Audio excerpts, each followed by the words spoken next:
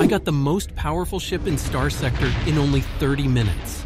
First, I created a new character called Ligma and went through the tutorial. During the tutorial, the patrols don't care if your transponder is off, so it is a great opportunity to do some black market trading.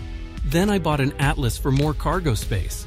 After that, I went to the Askonia system to smuggle domestic goods to the Sindrian Diktat's pirate neighbor, who was willing to pay three times the price. I continued to do black market trade until I got over a million credits and